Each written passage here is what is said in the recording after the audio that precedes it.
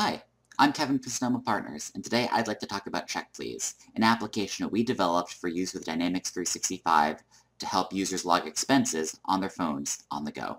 Here at Sonoma Partners, we use Dynamics to run our entire business. So one of the challenges that we have is getting users to enter data in a timely fashion. Expenses can be particularly frustrating. So to solve this problem, we created a mobile application. The idea is to make it as easy as possible to log expenses while on the go, so that you can make your entry as soon as you make a purchase.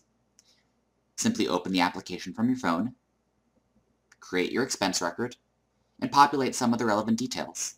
From there you can take a picture of the receipt, and then send all this information back to the CRM system. By allowing users to interact with CRM at a time that made sense for them, in a way that made sense for them, we were able to improve our system usage. Expenses were logged more quickly, and data was cleaner. So thank you for watching. If Check Please is something you're interested in learning more about, or if you have some other custom mobile use cases you'd like to discuss, give us a shout. We're available to talk at sonomapartners.com.